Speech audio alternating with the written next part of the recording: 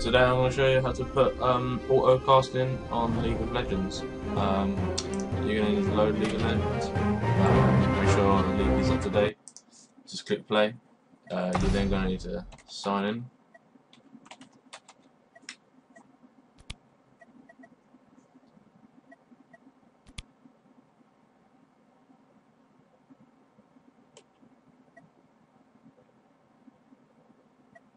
Once you've signed in, you're going to need to go up to play. You're then going to need to um, just click on custom. Do you? Let's do create, it, man. Smart. Let's do this. Change it to 1v1. Da da da da. Just enter a random password so no one can accidentally join. Create the game. And then you just need to click the start game. Click yes. Just choose a random champion. Lock in.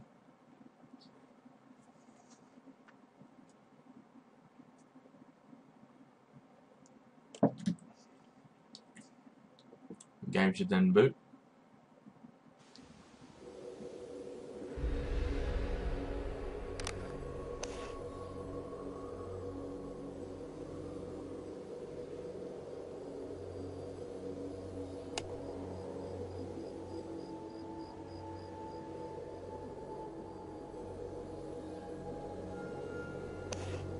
Um, I'm not too sure if you can see this, so I'm just gonna stick this in window mode. Welcome to Summoner's Rift. Hello, right. Right, okay, there we go. You should now be able to see this. Um, this is in window mode. Um, you just need to go into key bindings. You need to go down to self cast spell or smart cast spell. Um, I tend to use smart cast spell. Your, your default buttons are usually here Q, W, E, and R with your 30 seconds until Um, minions spawn. with your summoner spell being DNF. Uh, personally, I leave my summoner spells DNF so you can target a specific champion. Um, It's on. but the actual cast, uh, the the the, the uh, actual cast himself, I, I changed the default to these, just by simply clicking there and changing. Um, and then when you see Minions have spawned. OK. Minions are spawned now, I think. Let's go down here. No.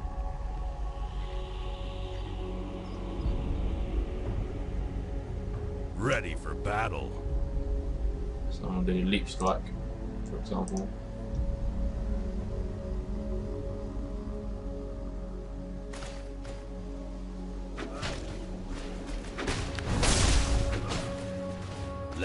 Let me.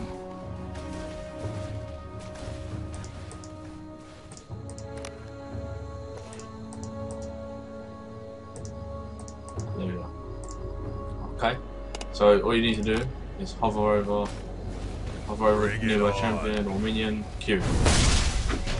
Simple as that. And that does it for you. Rather than if you had the, the if you didn't have spell self spell on, change Q to